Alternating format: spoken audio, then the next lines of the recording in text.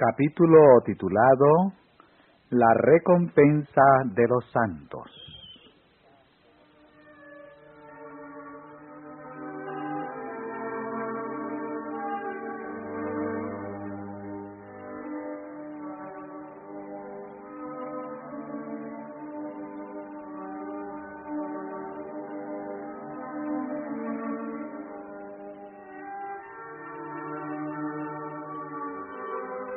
Vi después un gran número de ángeles que traían de la ciudad brillantes coronas, una para cada santo, cuyo nombre estaba inscrito en ella.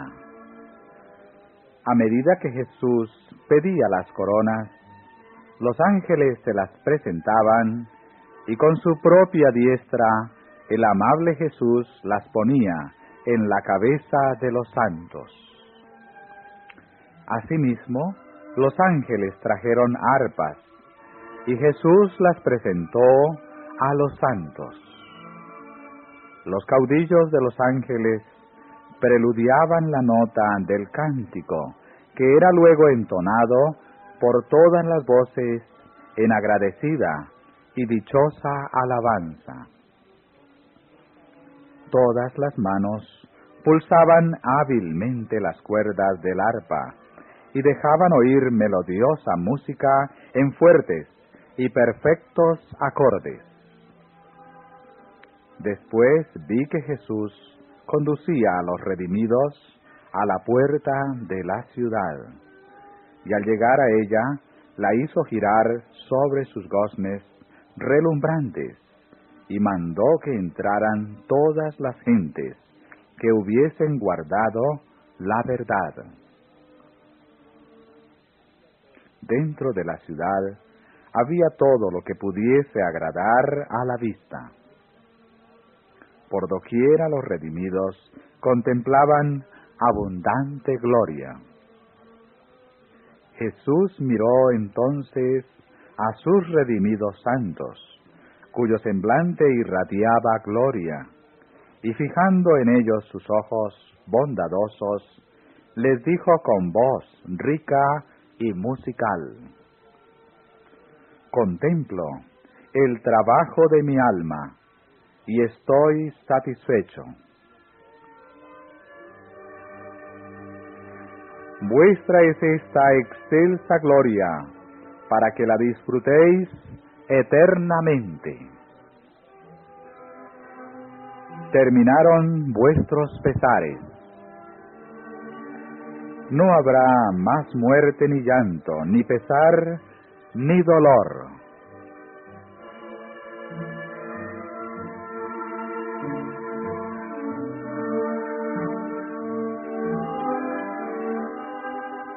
Vi que la hueste de los redimidos se postraba y echaba sus brillantes coronas a los pies de Jesús y cuando su bondadosa mano los alzó del suelo, pulsaron sus áureas arpas y llenaron el cielo con su deleitosa música y cánticos al Cordero.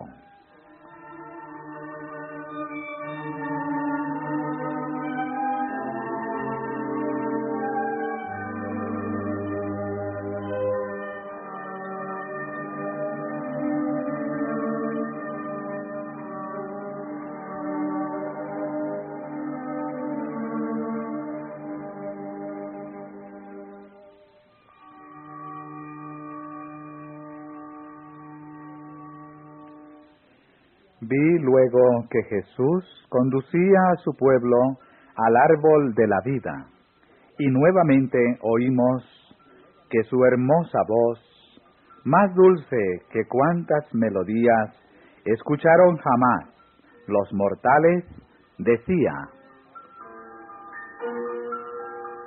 Las hojas de este árbol son para la sanidad de las naciones.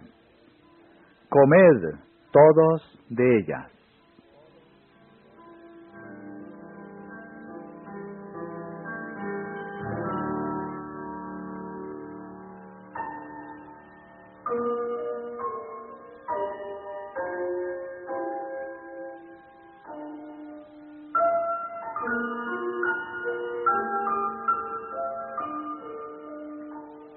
el árbol de vida daba hermosísimos frutos de los que los santos podían comer libremente.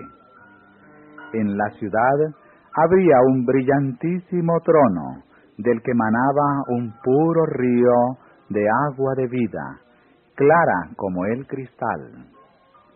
A uno y a otro lado de ese río estaba el árbol de la vida, y en las márgenes había otros hermosos árboles que llevaban fruto bueno para comer.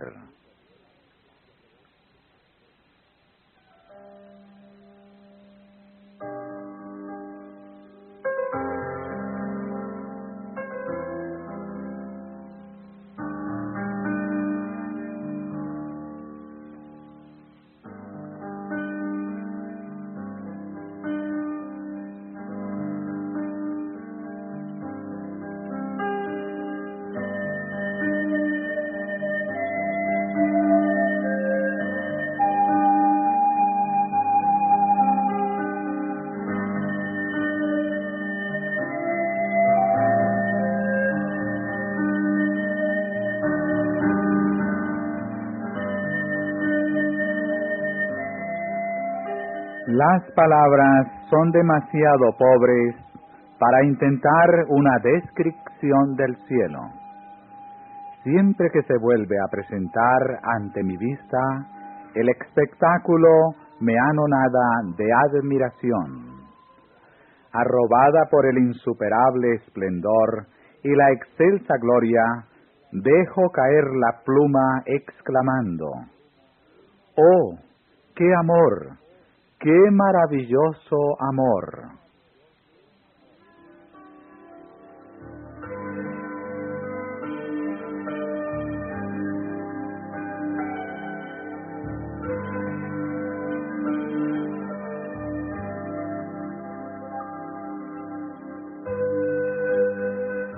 El lenguaje más exaltado no bastaría para describir la gloria del cielo ni las incomparables profundidades del amor del Salvador.